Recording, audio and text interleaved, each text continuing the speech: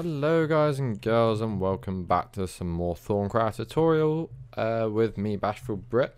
I know it's been a hell of a while since I've done one of these videos and I do apologise. I can't even remember where we got to in the tutorial series unfortunately.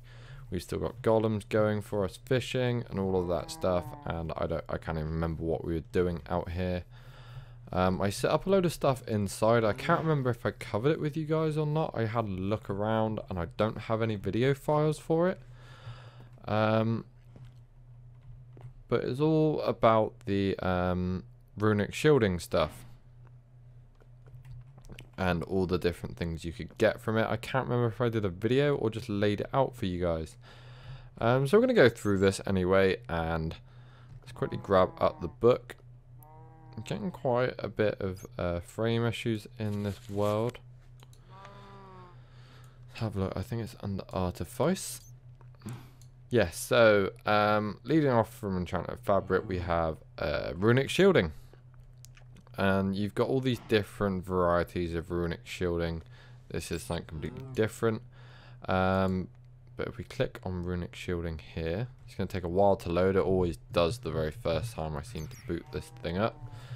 Um, so yeah, let's have a look through this. Um, says your research in protective magics led, led you to discover runic shielding, not armor in a traditional set, but collection of charms, rings, and similar protective baubles, worn with everyday clothes. Uh, these basically create a barrier, uh, protect. It will subtract damage from the pool of hit points. Uh, depends on what you've got. Each uh, shielding has a set amount of hit points which it will subtract from first before damaging you. Um, once the pool is depleted, it starts taking damage as normal. pool replenishes over time and requires Tera Invest to replenish its charge, which it draws from carried wands. So it will recharge your shielding um, if you had your baubles on in your inventory, like equipped. Uh, it will start recharging it from your wand. Uh, so it might be worth having a spare one of them lying around. Um, Armor offers no protection from damage suffered due to drowning, starvation, or similar environmental hazards. So if you're a dick and you jump into lava, this ain't gonna. This isn't gonna. This isn't like some idiot-proof shielding thing. It's like you've still got to be careful. Um, it's just basically if you're getting swamped by mobs, it's gonna take off a little bit of damage. Uh, it's gonna take off some stuff like that. I'm not sure actually. Lava might be fine but drowning, drowning is definitely not. Like if you drown or starve, then you're just pretty much done. Um, due to its neutrally armor cannot be enchanted by normal means, but there is a way to do it, which I'll show you guys maybe this episode, maybe another episode. So there's three different types that you can have. You can have um, the girdle, which is like a belt. Um, you can have an amulet, which would be like a necklace, and then you can have rings, and you can equip two lots of rings. Um, if we look in the survival inventory list, quickly just go to game mode 0. there you go, and we open up baubles. We can have amulet, two rings, and a girdle, all on uh, consecutively. So, first things first is you guys want to be making uh, the basics, and then we move over to the enchanted side of things, right here like that. Um, so the first one we want is going to be um, I don't know what these are called anymore. Ring of Runic Shielding. Put you back in proper. Uh, so to make the rune of red, there, rune, ring of runic shielding, uh, you want to put a mundane ring. This is all done on the infusion altar, by the way. I've laid it all out in here, so it's easy for you guys to see. You need a mundane ring in the middle, and to make that, it's basically just gold nuggets like this. Make you a mundane ring. And you put that in the middle there, and then you put Primal Charm up the top, Scribing Tools, Amber, Fabric, and Nitor like so. And that there will give you the... Um, it will give you the ring. Uh, forgot to put... I think I started putting them in. Yeah, I started doing it on this side. Uh, let's have a quick look here. We open the runic shielding again.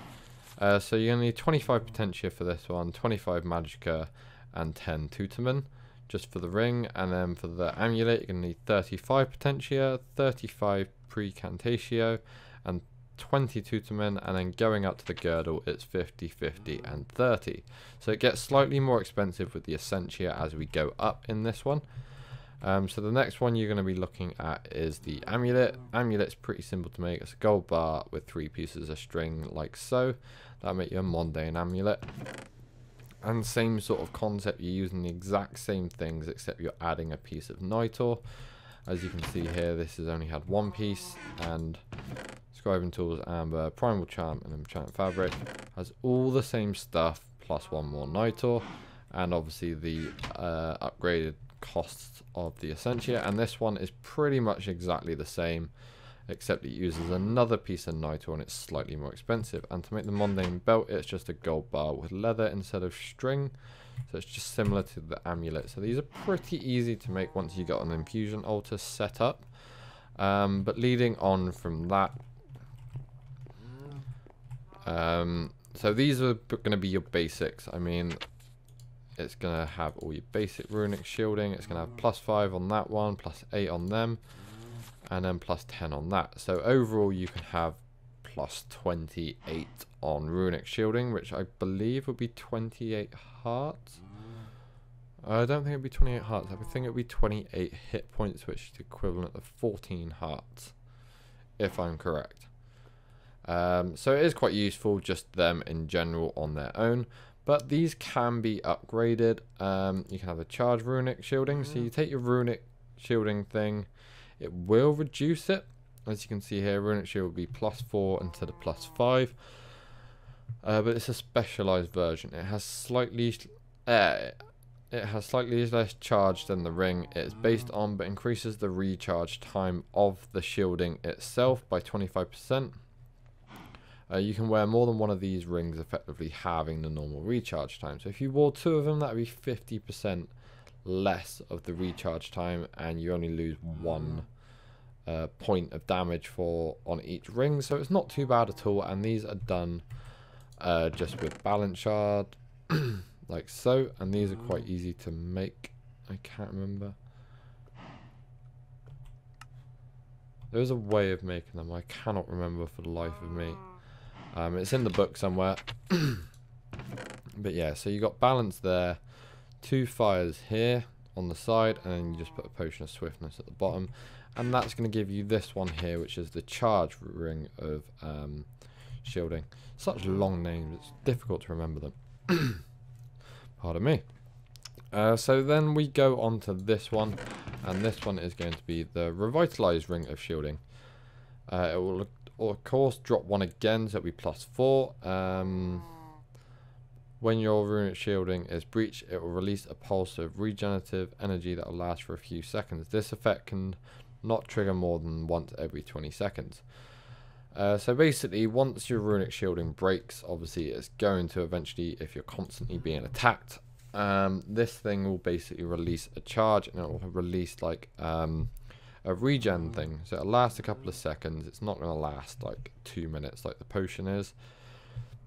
Um, but it will last a little bit longer to give you some health regen. So once you do drop below runic shielding and start taking damage to your player directly, thankfully there'll be like a regen thing which will help you out that little bit more. So if you combine these two rings, as I said, you can wear two, so 25% less on the recharge rate, plus that would be quite good.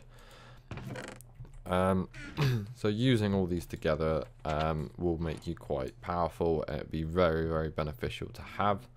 Um, the next one we're going to be looking at is emergency shielding. Once again, you're going to be losing a charge, um, but with the benefits you get, uh, when your shielding is breached, this upgrade will instantly add 8 charge to your shielding amount. This can not trigger once the more uh, more than once a minute. So even though you do lose a point once you're breached, it will give you another 8 points on top of that. So effectively you're upgrading it a hell of a lot on that one. So you are effectively getting 15 points of um, damage instead of the... Uh, yeah, 15 points of shielding rather than just the 8. You get 7. When it breaks, then you get an additional 8, but only when it breaks. Um, so and as long as that's not done like more than once a And it's, if, as long as it's not done less than once a minute, you should be fine, absolutely fine with that one. So moving on, we're going to go on to Kinetic Girdle of Shielding. And this one is a specialized version. Uh, you lose a point again. Uh, when your shielding is breached, a detonation of kinetic energy will be released, damaging and shoving anything back nearby. This will trigger one no more than once every 20 seconds. So this one is really, really cool. Basically, if your runic shielding is breached, which eventually it will be if you're getting swamped, this will basically explode, damaging anything near it. It shouldn't damage you, I don't think, uh, but it'll basically damage everything around you. Say you're being swamped by mobs, and it'll push them all back as well, which will give you that little bit of um, little bit of an advantage uh, just to get away and possibly save yourself.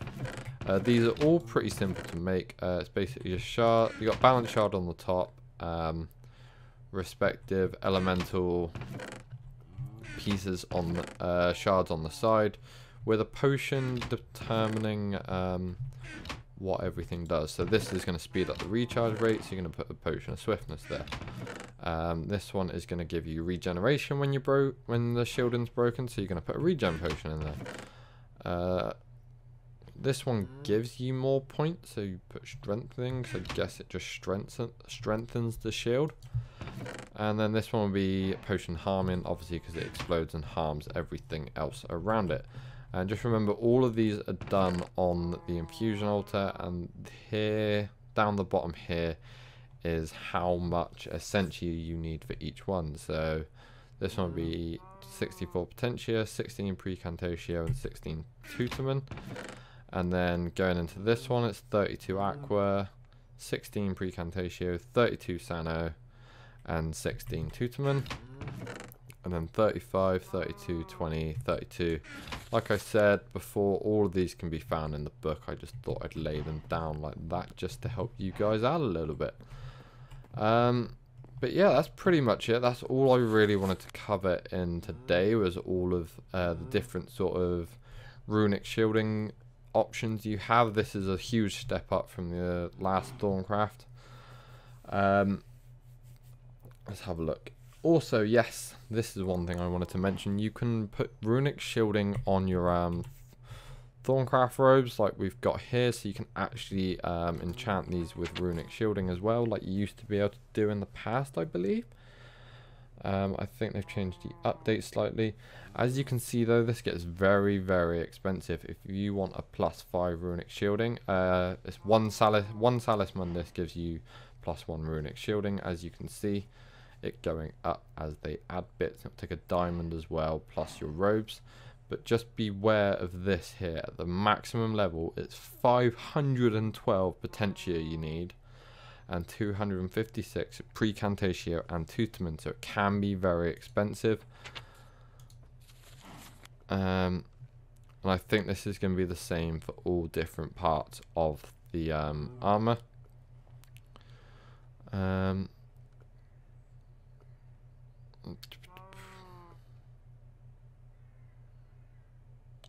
Okay. Okay, right. So you literally have to go through them all as well. So you to get a plus two runic shielding, you need a plus one runic shielding robe in the middle with two Salis Mundus.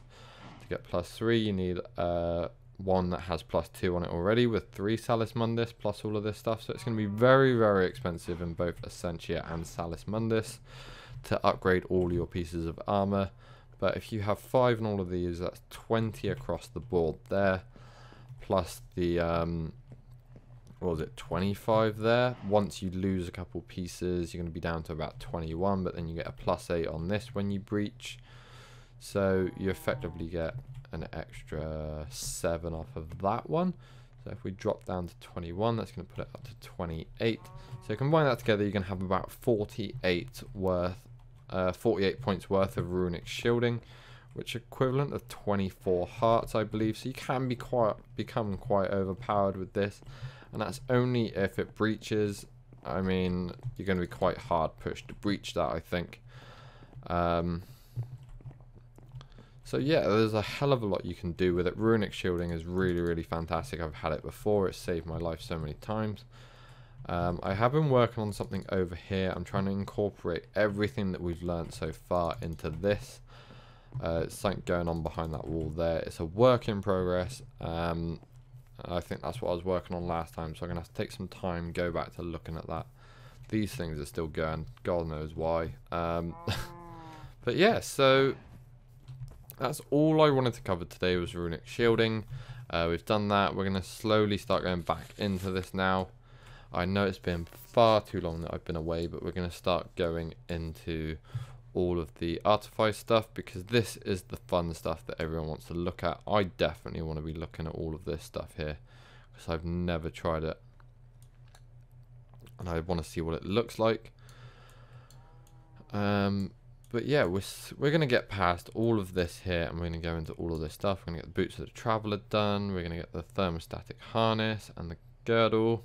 All of this stuff is really, really fun to be playing around with. Uh, the mirrors and stuff are good. The bore I've been playing around with a little bit. Let's see if I can go find that. I did play around with it a little bit. It's absolutely fantastic. Oh.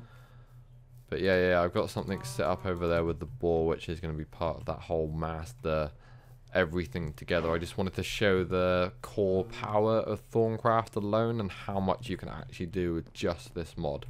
Uh, because people use other mods and incorporate things together. It's not going to be as good as using say like a quarry but the uh, mining board is absolutely fantastic and if you use it all together I'm just showing you how much automation you can actually get out of this mod because it's absolutely spectacular and I think it's definitely definitely underrated and definitely deserves a lot more attention I just want to show the core power of that in just one swift movement and just have everything connected together and just show you what the possibilities are with this mod because it is absolutely fantastic and I hope you guys enjoy it as much as I do when you get into it.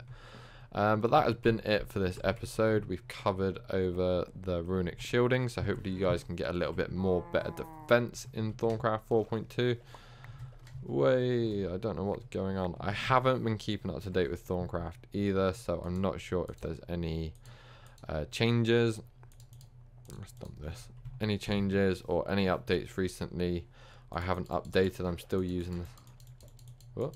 I'm still using the exact same pack that I was using and I haven't updated it at all because I wanted to carry on. I don't want to corrupt anything.